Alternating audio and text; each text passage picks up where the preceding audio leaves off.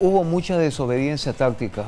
Yo, yo veía mucha desobediencia táctica porque una cosa hablaba Rescalvo, otra cosa hacía el equipo. Eh, ¿En qué fracasó Rescalvo? Porque cuatro años es mucho tiempo, pero ¿en qué fracasó? ¿En, en qué le faltó tino? ¿No hubo compromiso del equipo? Yo creo que el, punto más alto del equipo lo, encontramos en el 2021, ¿no? en el cual hemos ganado la primera etapa, hemos llegado a la final, eh, hemos perdido poco partido.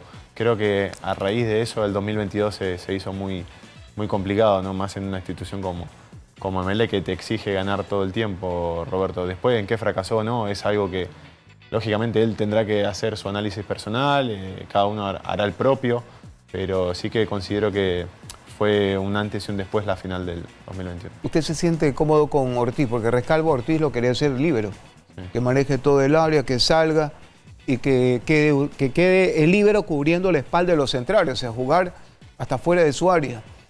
Eh, ¿Usted qué se habla con Ortiz? A veces cuando se queda mucho Ortiz, haciendo el aguante, es rápido de pierna, por supuesto, pero hace mucho el aguante. ¿Y cómo lo ve a Napa, el de la selección, que es de ustedes también? Sí, eh, respecto a Pedro, bueno, cada entrenador de arquero tiene su manera y su manera. Por ahí el año pasado era que Pedro esperara un poquito más o en el mano a mano que no saliera tanto para no dar solución. Son distintas maneras de, trabajar que tienen los, arqueros y los entrenadores.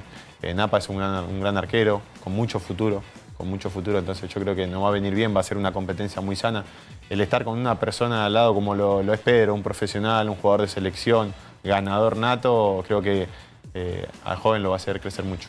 ¿Quiénes lo defraudaron de Rescalvo? De los jugadores. Yo no, no creo que nadie lo, lo haya defraudado, yo creo que es un conjunto, creo que todos tenemos que asumir las responsabilidades que, que correspondan, eh, dirigencialmente, cuerpo técnico, jugadores.